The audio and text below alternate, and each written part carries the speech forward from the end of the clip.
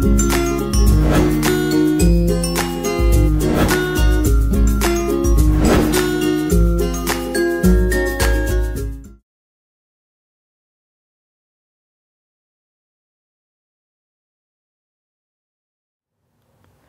my name is Vaman Deshmukh and in this session we are going to discuss a brief introduction to packages in Oracle. See basically I mean if you are from uh, if you already know Java or any other programming language you must be very much familiar with packages. Packages are nothing but uh, they logically group together you know related objects or members.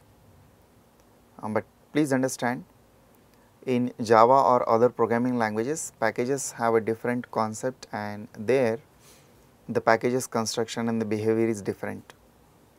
Uh, in Oracle packages basically group you know procedures functions and uh, types and other database objects together into one single unit. Packages have several advantages like uh, you can have a modular design in your overall database application for the execution purpose as well packages provide much more you know improvement in the performance and apart from that uh, from application management perspective as well packages are very useful.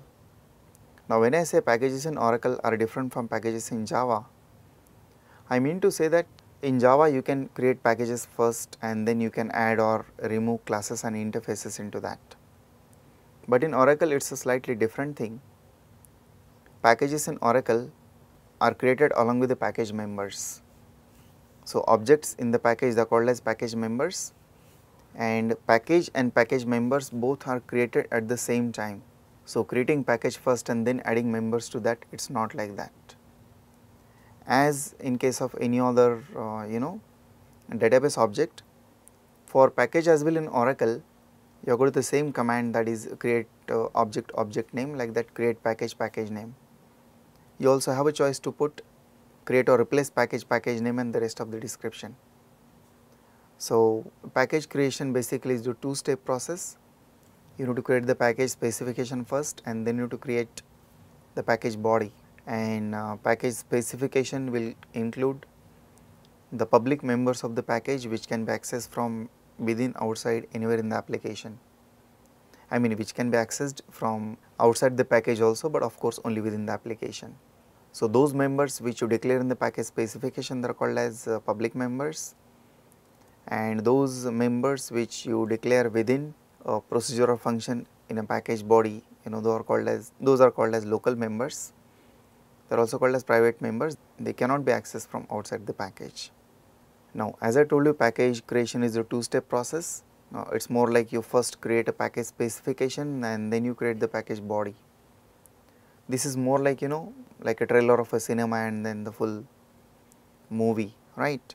So, you need to create the package specification in that you will declare the members which you are going to provide the complete code uh, in the package body and within the package body you need to you know write the complete code for those members which you declared in the package specification.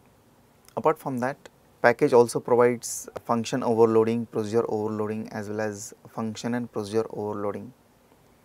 This is uh, mostly similar to you know method overloading in Java and this way packages also support object oriented programming although not completely but at least partially.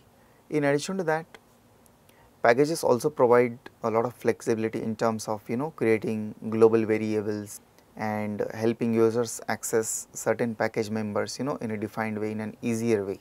So, when you think about creating uh, you know applications in Oracle uh, using PL SQL, then package is an imminent thing that you need to deal about, that you need to deal with.